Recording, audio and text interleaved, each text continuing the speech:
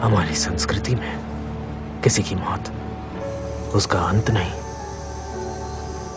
शरीर मरता है, लेकिन आत्मा नहीं।